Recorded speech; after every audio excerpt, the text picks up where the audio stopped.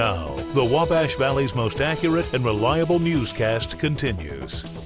With Storm Team 10 meteorologist Lindsay Monroe.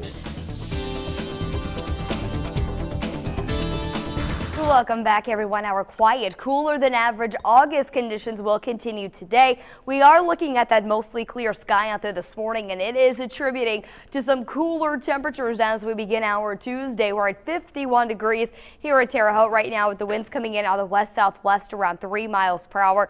A very light breeze, a little bit of cloud cover to our north, but most of us are sitting underneath that clear sky. Again, that's equating to very cool temperatures.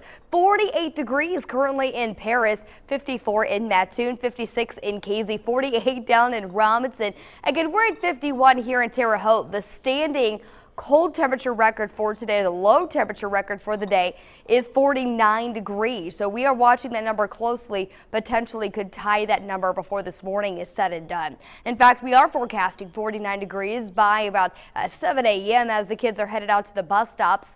That sky stays clear. Heading into the afternoon, we'll start to notice a few more clouds developing.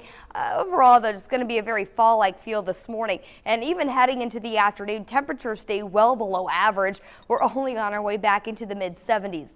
Yesterday, we topped out near 77 degrees. We're going to be a few degrees cooler than that, mainly because of additional cloud cover in the afternoon. 75 in Terre Haute, 76 in Robinson, 77 in Olney down in Vincennes, and Loogootee also 76 six degrees. We are in a battle zone right now. You can see this area of low pressure spinning its way just to the north of Michigan there, the UP of Michigan. This cloud deck extends with this system all the way into northern Indiana and northern Illinois. We have a dome of high pressure that's back to our west. So as you can tell, high pressure or low pressure, which one's going to win out? Well, this morning it's the clear skies. It's the high pressure, but heading into the afternoon, we'll start to see a few more clouds dipping in, and that is what's going to bring us that increased cloud cover today. So let's time that out. Here's Futurecast 7 a.m. Again, a mostly clear start to our day, but looking ahead of this afternoon after lunchtime, 2 o'clock, we'll start to get some daytime heating going. We'll start to see a few more clouds developing. Certainly more cloud cover is going to be around during the second half of the day, calling it partly sunny. None of those clouds are going to be rainmakers, so we do stay dry both tonight and through the overnight, putting us into Wednesday morning. So we'll go with again just a few clouds for the rest of the day today. 73 at 7 p.m. if you're headed out tonight, 70 at 8 o'clock, and eventually as we head through that 10 o'clock hour, dropping back to 67.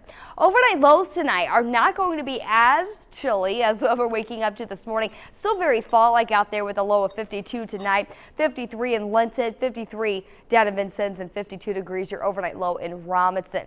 Picking Futurecast back up at 8 o'clock Wednesday Wednesday morning. Once again, we'll go with that partly cloudy sky. Not going to be that crystal clear sky tomorrow.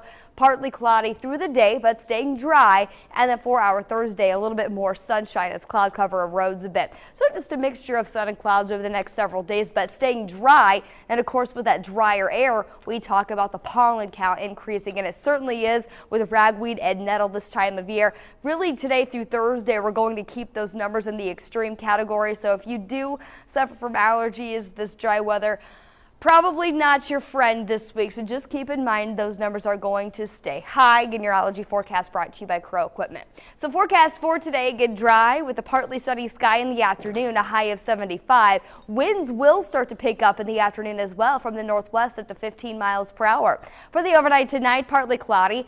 Additional clouds will keep temperatures a few degrees warmer, going with that low of 52. And then heading into the day tomorrow, once again, we stay below average with a high back to 77. Dry for the rest of the week.